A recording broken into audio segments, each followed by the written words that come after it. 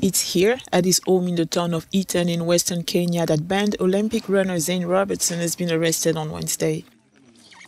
He is accused of sexual assault and possession of an unlicensed AK-47 assault rifle found by the police as they were searching the house. bunduki ambayo ni ya The rifle you see here is an AK-47 and it is an illegal firearm. We also recovered 23 bullets that are fairly new, 7.62 special caliber, and the culprits are in custody. tuko nazo hapa na hao wamepelekwa station. The criminal allegations against Robertson stem from a party at his home on Tuesday night when a woman claims she was sexually assaulted. An unidentified Kenyan national was also arrested.